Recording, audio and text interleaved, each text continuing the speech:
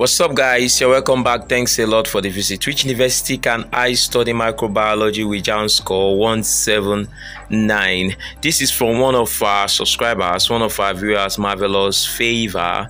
Drop this message for us. So, because of this, we made some research, made some calls, and tried to find out some universities you can enter with low JAMB score. So, in this video, we are going to crisscross, we are going to go round and see the universities with you can universities and their cutoff marks. So, guys, stay tuned to this channel, watch this video and uh, stay to the end you will see the cutoff marks for each school and their courses.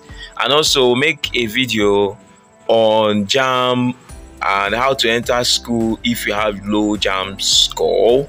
So any comment any inquiry any query you have you can drop it in the description below. We'll make a video we'll make research we'll make some calls with our colleagues to to find out all your answers. Thanks a lot for crisscrossing our channel. So i just leave you to go through the list.